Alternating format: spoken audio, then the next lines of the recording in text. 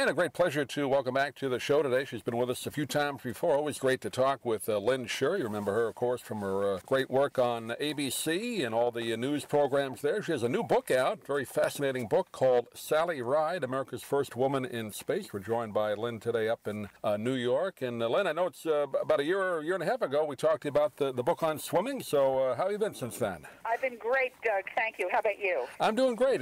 when I found out you, you, had this book out, I, I contacted the book publisher. I wanted to have you on and talk about. It. I've always been one of those uh, kind of space fans going back to uh, childhood, watching Apollo and all that. I know you covered it for many years, so this must have been an interesting project for you. It was. You know, it was sort of bittersweet in a way that. Um, Sally Ride was a close personal friend of mine, as well as somebody right. that I covered for many years.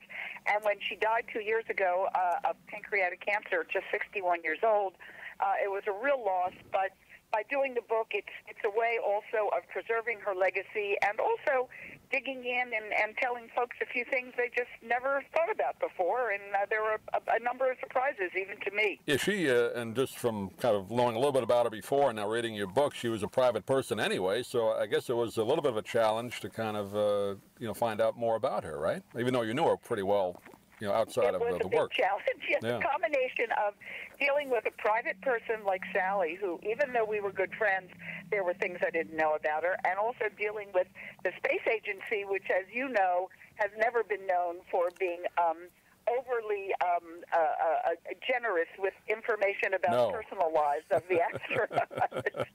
so yeah, it was kind of a challenge, but you know, I, I did more than 200 interviews for the book.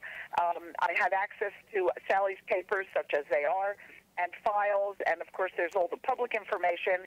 And there were some folks at NASA that were just terrific. So I've dug up all sorts of information, and I've spoken to a lot of her friends. I had her family exclusively. So I think this this now is the most complete portrait ever of Sally Ride, and I think um, she is indeed an interesting character. You go back to the original uh, astronauts, Mercury 7, everybody knew who they were from all the articles they did, I guess, uh, in Life magazine and TV, and then even through Gemini and Apollo. But after that, it, it, it kind of faded out. People really didn't know as much about the astronauts until Sally Ride was the first woman. There was coverage of that, I remember, but, but not as much, right?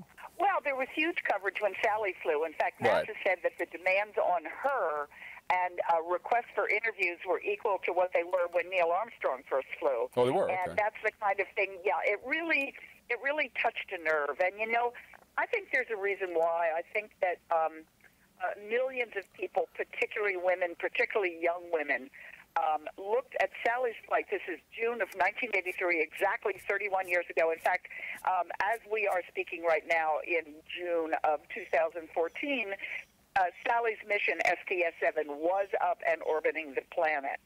So this is exactly 31 years ago. And when she lifted off, I think what she did was she took a lot of people's hopes and dreams with them. And a lot of people, particularly women, particularly young women, looked at what she did, first American woman in space, and they said, if she can do that, then I can do anything. And it was a it was a great translation of a very bold journey into the fact that the doors were now open, and this was symbolic as well as real for so many people to to see what she did and pin their own hopes on that. Yeah, I didn't realize until I read the book how uh, how good a tennis player she was. She was, uh, I guess, almost good enough. Maybe she would have been to uh, be on the pro tour at one time, right? She hoped to be on the pro tour. Yeah. She did play uh, girls junior tennis and some uh, early women's tennis, but she always joked uh, when people said, "Why didn't you become a professional tennis player?" Sally would always say, "My forehand." and I think I think she uh, she sort of figured out that she took look, looked around her and saw how the elite played, and you know Billie Jean King was an early mentor of hers, and she said, "Look, I'm good, but I'm not that good," and dove right back into science. So. Uh, she was better than most of the people that you know, but she probably would not have made it into the top tier and Sally would not have been satisfied unless she was at the very top. I thought it was interesting uh, how you talk about it in the book. Uh, she just kind of saw an ad uh, for women to apply for uh, for the space program, for the for the shuttle program. That's pretty much how she got in, right? Just applied for the ad originally. Well, it wasn't an ad. Actually, it was an article. She article, was a, yeah. a, a student at. Uh, she interestingly in her memory, it was an ad, which is very interesting. Uh, what it was, because I looked all through the Stanford Daily, Um, she had gone. She was studying for her PhD, finishing up her thesis in astrophysics at Stanford University. It was January of 1977, and she goes to the Stanford Student Union. She gets a cup of coffee. She gets a donut. She sits down, picks up a copy of the Stanford Daily, and there above the fold is an article, and the headline is NASA to recruit women. And this was an interview with a woman who was one of the women's organizations talking about the fact that NASA was reaching out and looking for women and minorities um, who were scientists fly in the upcoming, then upcoming space shuttle program and hadn't flown yet. And the idea was they no longer needed to be military men, they no longer needed to be um, flyers, they needed to be scientists to do experiments and things in space. Sally took one look at the article, read through the uh, qualifications for a mission specialist, said to herself, I can do that, and sent off immediately for an application. Hmm. I know. Quite uh, amazing. It really is when you kind of think of it. Uh, open to everybody who wanted to at least give it a shot, but uh, like you said, with the space shuttle program, it required different skill uh, skill levels. Obviously, you had to be a pilot if you're flying the thing, but other other people would be on board, right? Precisely. The the idea was the shuttle, as you well know, was more of a plane, a space plane, a lot more room for larger crews.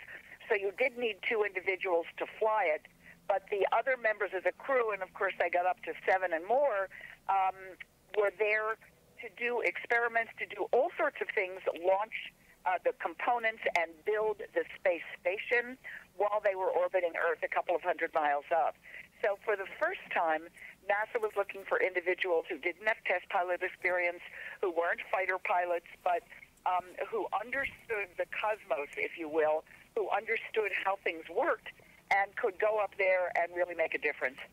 You covered uh, her flight and, many flights uh, with ABC. Uh, I always kind of envied you guys getting to be actually over there and, and see it take off. Uh, uh, you interviewed her, I- I'd imagine, before her, her flight, then, right? I did. I interviewed Sally a number of times, and of course, I interviewed her right before she flew in June of '83.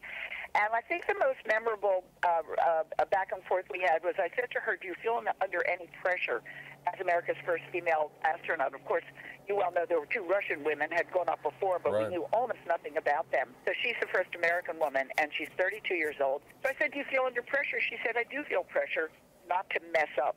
And I think what she meant was she didn't want to mess up for the crew. She didn't want to mess up for the mission because any space um, mission is a team enterprise. She didn't want to mess up for NASA. She didn't want to mess up for the United States or for the future of human spaceflight, but mostly she didn't want to mess up for women because she knew that if she messed up uh, in her terms, uh, then it would be seen as, well, no woman can ever be an astronaut.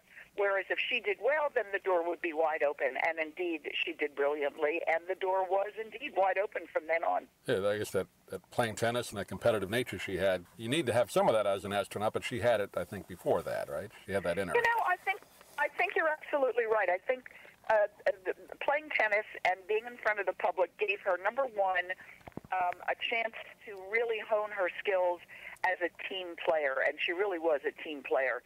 She loved being part of a team. I think it also proved um, that she did have the right stuff. That is to say, cool under pressure, knew how to win and knew how to lose. Didn't like to lose, but understood that when you lose, there's always another game, there's always another match, there's always another set. And I think these were very important qualifications for being an astronaut. And one very specific one, she had excellent hand-eye coordination. Right. Clearly, part of her tennis background, and of course, she was one of the experts at working the remote manipulator arm. You know, that giant Sure. crane that flew on the shuttle. So I'm, I'm sure that had a lot to do with it, don't you? Yeah, I, I thought that was interesting how you described that in the book. She she liked that part of it, that huge uh, arm thing that she uh, said her Right. you know, she had good wrists and hand-eye coordination working that that uh, that machinery. That's, that's great. Did, did you get the impression uh, from talking to the people? I didn't get it from the book that there was a lot of sexism from the men, and we kind of feel there might be some of that, men and women in, in that kind of industry, but they seem to get along pretty well. Was that the case Well, with her? Uh, yeah, I, I think what happened is once NASA made the decision to uh, invite, w- to uh, not only to accept but to reach out for women and minorities, uh, then they bent over backwards to make sure it all worked fine. Yeah. And the truth is that the individuals who came in with Sally's class were, for the most part, um, just fine with it. There were guys, I have to tell you, in Sally's class. This was the astronaut class of 1978. There were guys who had not only never worked with women before, these were career military guys who had never worked out of a uniform. Hmm. So they all had something to learn. Um, there were little things. There were lots of little things. There was a lot of good-natured ribbing. There were always a couple of people who stood in the way and just couldn't deal with the fact that women were there. But for the most part, absolutely, um, the women proved that they were equal partners, and that's the way they were accepted. Part of the book, too, you talk about her uh, personal life, which I had heard about later on, and, and not much about it, uh, that she was gay, but uh, that didn't seem to be a big deal. Uh, talking to people doing the book, uh, how was that to, to, write about? I don't think it was a big deal to Sally either uh, at the at finally at the end, although she and I never had this conversation, um, it turned out that Sally was living uh, in a relationship with another woman for 27 years. She had been married to um, fellow astronaut Steve Hawley while she was at NASA for five years. Uh, they broke up, and she spent um, the better part of her life with a woman named Tam, Tam O'Shaughnessy, mm-hmm. um, who she leaves behind. And Sally and Tam were very private about their relationship. There were a couple of people small handful who knew that they were uh, in a relationship, and no one ever talked about it um, for a variety of reasons. I think uh, it turns out from the interviews that I did, I think Sally was trying to protect NASA. Uh, NASA not known at the time, back when you know Sally was there in the 80s, not known for being a very open socially organization. Right. Um, I think she was trying to protect the astronaut office. And also, um, she and Tam and some other people started a wonderful company, still exists, Sally Ride Science, to get girls, uh, mostly girls and boys, middle school kids interested in math and science. And she was worried, they were worried that the idea of two gay women uh, might hinder their efforts to raise the kind of money they wanted. This is a for-profit company. Right. Um, it, it makes me sad. I wish that she had felt she could be more public about the relationship because I would have liked to share it with them and been able to you know, share in their happiness. But, you know, this was her decision. This is what she wanted to do. Uh, but that, of course, was the big news after she died when that news came out. Yeah. Yeah, by today's uh, environment, uh, I would think it probably you might make an announcement of it. It wouldn't be a big deal, but back in the 70s well, and 80s, precisely. it probably still and would have been. And I think, with the exception of some people in in the gay community and some um, who are just opposed to anything, um, with the exception of them, I think most people thought, "Oh, that's a surprise, but okay, next, let's talk about whatever more is more important. I mean, this was not um, the cause that Sally chose to stand up for all of her life. She lived it. Uh, she didn't demonstrate about this kind of thing, and and you know, more power to her. She just lived her life the way she wanted to. And ultimately, it has nothing to do with how good you are on your job anyway. So it, it, it shouldn't matter. No question but, about that. But but no. unfortunately for some people, it does.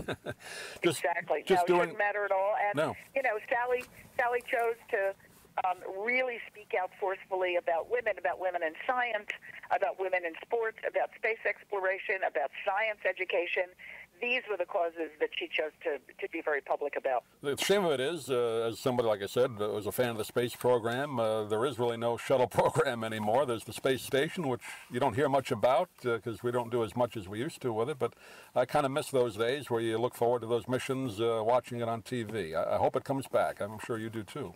I do, as a matter of fact, although I have to tell you that uh, while the excitement isn't quite the same, I I did watch um, one of the Soyuz. Of course, the way we get to the space station now is we hitch a ride on right. uh, Russian taxis, basically. and I watched the Soyuz launch the other day, and it's still pretty exciting. And I think the fact that the, we have a permanently inhabited um, uh, vehicle orbiting vehicle, a, a, a station, much more than a vehicle orbiting the planet on a regular basis, and that these folks, men and women, are up there and they're beaming down. Uh, what they're doing, I think, is still pretty exciting, and I think it's I think it's too bad we're not paying more attention to it. I know there are very demanding things here on this planet, but I think we belong in space as well. Yeah, just so many things came out of uh, the Apollo mission that uh, we use today: cell phones, computers, just to name two, all the medical things. So it it, it helped. it created a lot of uh, things. It sure it certainly does. Yeah. Well, the name of the book is Sally Ride, America's First Woman in Space. We've been talking with uh, Lynn Sherr today, and it just came out doing very well, published by uh, Simon and Schuster. Do you have a, a, specific website you want to give out, Lynn? Yes, if they go to Facebook, um, forward slash Sally Ride Bio, one word, S A L L Y R I D E Bio. Come onto our Facebook page for the Sally Ride Bio, and um, I post my schedule where I'm speaking, all sorts of wonderful things there, and you can post your own comments as well. Great. Lynn, always a pleasure to talk to you. Please uh, let us know when you're down in our area again. We'd love to have you uh, in person, but always great to chat with you, and we'll talk to you when your next book comes out. Thanks so much. I really love